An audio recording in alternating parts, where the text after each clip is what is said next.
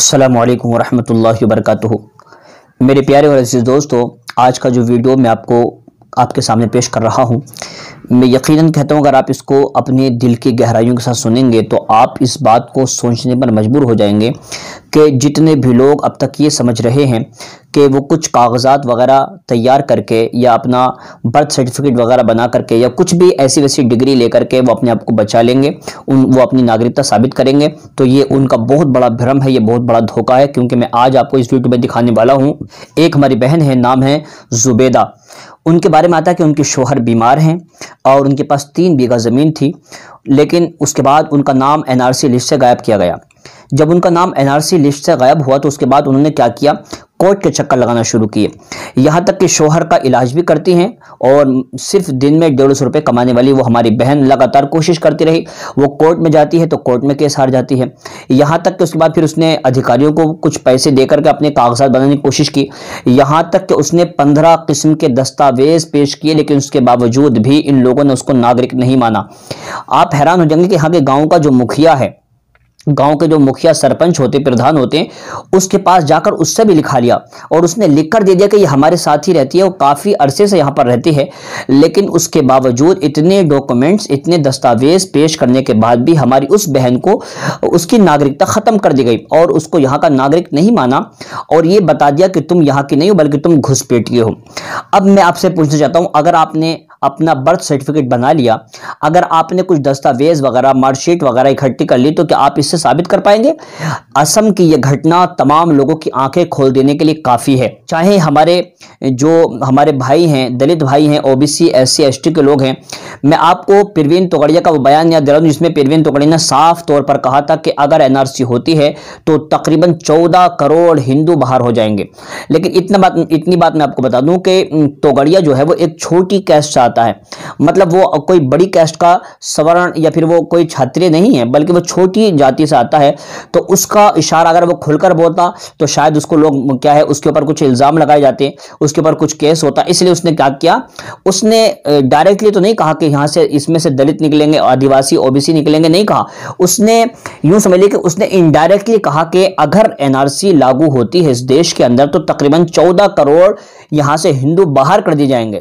لیکن اگر آپ جا کر اگر پوچھیں اس سے کہ وہ کون ہوں گے، تو میں یقیناً آپ سے کہتا ہوں، اس کا جواب یہی ہوگا پروین توگڑیا کا کہ اس میں جتنے لوگ نکلیں گے، ان میں سے میگزیمم میگزیمم سب کون لوگ ہوں گے؟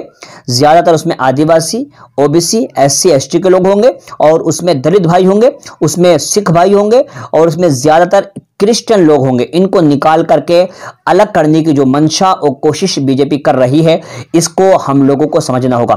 ایک بات میں آپ کو اور بتا دوں کہ دیکھیے، بی جے پی کی سب سے بڑی رڑنیتی یہ ہے، وہ چاہتی ہے کسی بھی طریقے سے جو لوگ ان کو ووٹ نہیں کرتے۔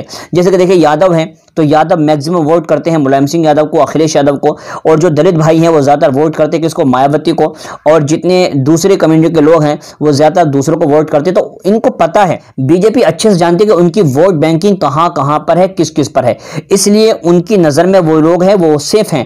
لیکن جو ان کو ووٹ نہیں کرتے ہیں، وہ سارے سارے کے سارے لوگ ان کی نظر میں ہیں۔ اور یاد رکھنا، جب بھی این آر سی ہوگی تو ان لوگوں کے نام این آر سی سے غائب کر دیے جائیں گے، جو لوگ دوسری پارٹیوں کو ووٹ دیتے ہیں۔ اس لیے کہ وہ کہتے نا کہ نہ رہے گا بانس، نہ بجے گی بانسری۔ جب وہ لوگ رہیں گے نہیں، ان کا نام این آر سی سے غائب کر دیا جائے گا، ان کو ووٹ دینے کا ادھیکار ختم ہو جائے گا، تو بی جے پی کو ہرانے والا کوئی دنیا میں پیدا ہی نہیں ہوگا۔ اور یہ ہمیشہ اس دیش پر راج کرنے کی جو منشا ان لوگوں کی ہے، وہ پوری ہو جائے گی۔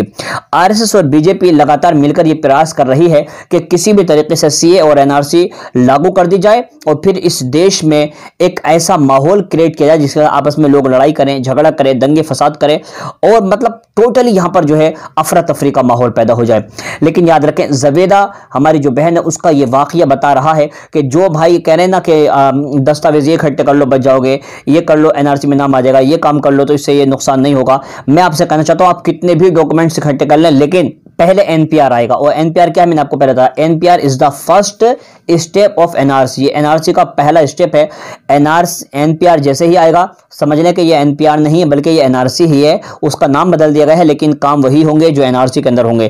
اس لیے کہ سرکار بیک فٹ پر آ گئی۔ وہ سوچتی ہے کہ اگر ہم کھل کر کہتے ہیں کہ ہاں این آر سی آئے گا، تو لوگ ہمارا ویروت کریں گے۔ اس لیے لوگوں نے این آر سی کا نام بدل کر کے این پی آر کر دیا ہے۔ اور اس میں جو چیزیں پہلے پوچھی جاتی تھی اس چیزوں کے اندر بدلاؤ کر دیا ہے۔ اور اس میں پہلے پندرہ چیزیں چیزیں پوچھی جاتی تھی، اب اس میں بائیس چیزیں پوچھی جا رہی ہیں۔ اس میں آپ کی وہ پرائیویٹ چیزیں اور وہ جو آپ کی نجی چیزیں ہیں، وہ بھی آپ سے پوچھی جا رہی ہیں۔ جیسے کہ آپ کا ڈرائیونگ لائسنس ہے، وہ لیا جا رہا ہے۔ آدھار کارڈ آدھار کارڈ کا نمبر لیا جا رہا ہے۔ یہاں تک آپ کا فون نمبر لیا جا رہا ہے اور بہت ساری چیزیں۔ آپ جانتے ہیں کہ آدھار کارڈ کے اندر آپ کی آنکھوں کی جو شوائیں نکلتی ہیں، وہ بھی اس کے اندر موجود ہیں۔ آپ کا فنگر پرنٹ اس کے اندر موجود ہے۔ آپ کی انگلیوں کے نشان اس کے اندر موجود ہیں۔ اور بہت ساری چیزیں ان کے پاس پہنچ جائیں گے آپ کا موبائل نمبر پہنچ جائے گا تو وہ جب چاہیں گے، جس ٹائم چاہیں گے آپ پر کاروائی کر سکتے ہیں۔